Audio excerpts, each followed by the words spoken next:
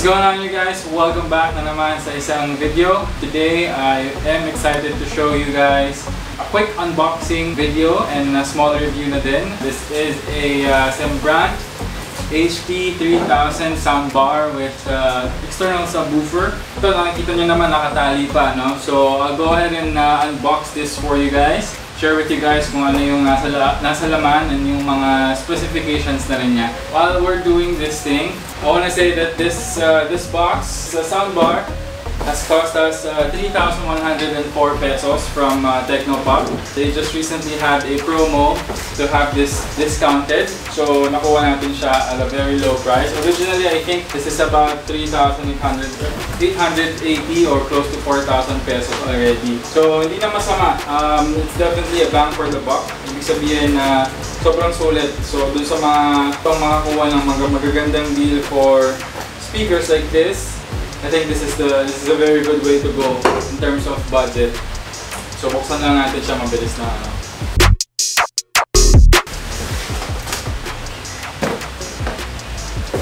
Alright. Okay. So right off the box, ito yung muna natin binuksan itong uh, mismong soundbar.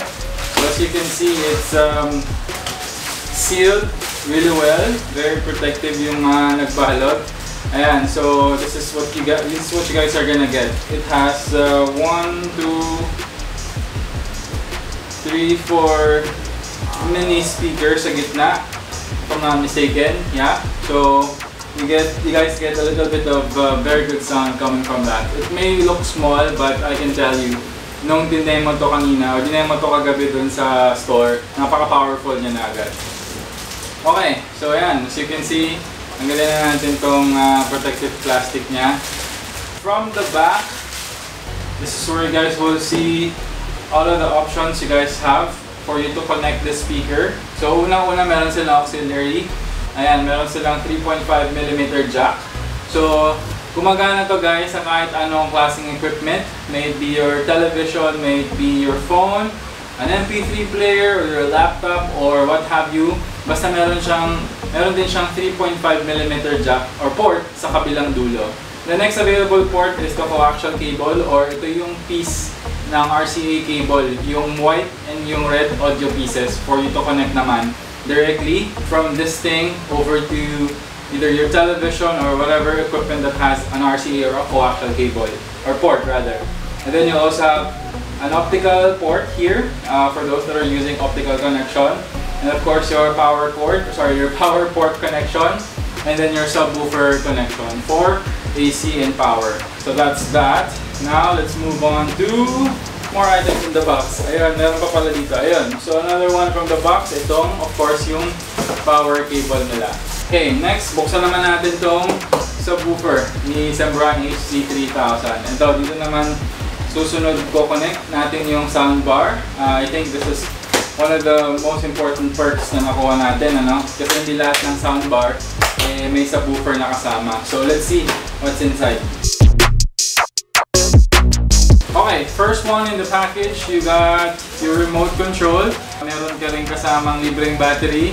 A few screws for you to mount your soundbar in. And ito, yung sinasabi ko kanina guys, yung coaxial cable or yung tinatawag natin na RCA cables. So yun, let's see what else is inside. Okay. Uy. Alright, this is it. This is the package. This is the baby right here.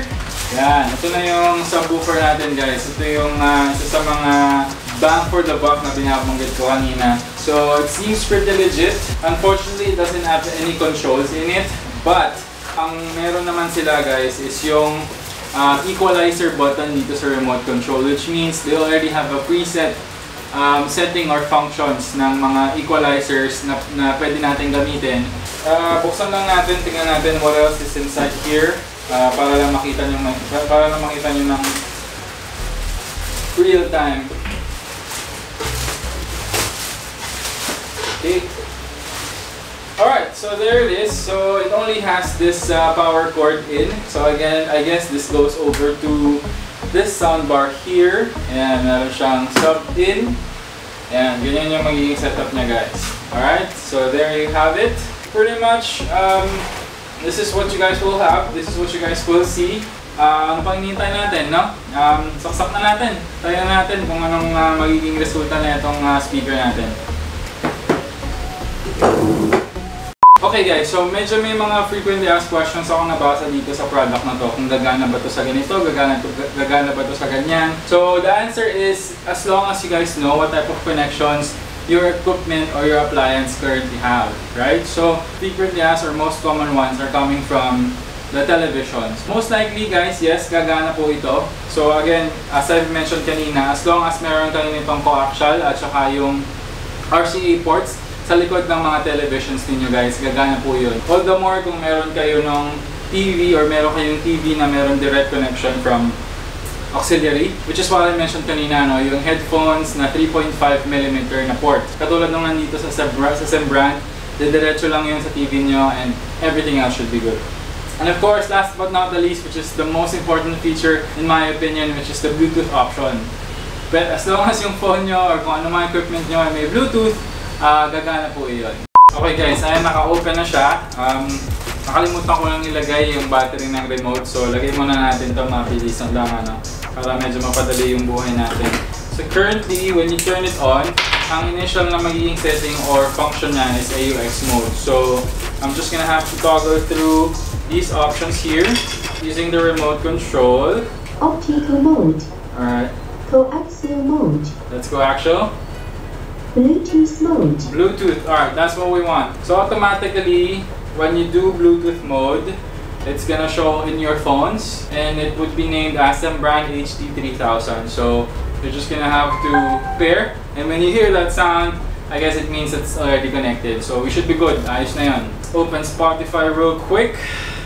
Ayusin lang natin yung volume. Baka mabigla yung mga kapitbahay natin dito. Alright, let's do 15. Kasi ang volume ni speaker guys ay umaabot hanggang 30. 30 yung maximum niya. But obviously, you can still control that through your phone or through whatever device you guys are gonna connect your soundbar to. Let's do Ultralight Beam by Kanye West.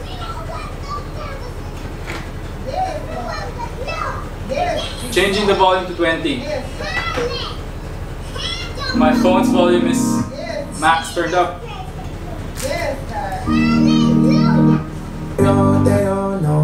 Don't know.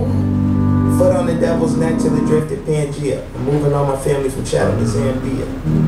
Oh, someone I can feel safe. Crisp sound. I don't know if you guys can still hear me. Hold you on. I'm trying to keep my faith. Why send the pressure, not blessings? Why, oh, why'd you do me?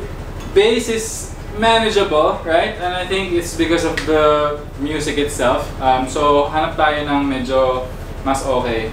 It may not mean nothing to y'all, but understand nothing was done. Volume to 18. So I don't plan on Max on my phone. I want this shit forever, mine, ever mine, ever mine. I shut shit down in the mall. It's ordinary, girl, she the one for me. Nice. And I ain't even planning the call.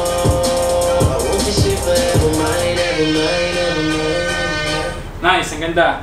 There you go. So not bad, right? I mean, ang ganda ng tunog niya. I, I just don't wanna like continue on with the sample music that I'm trying to show you guys. I'm trying to let you hear, you know, YouTube, copyright issues.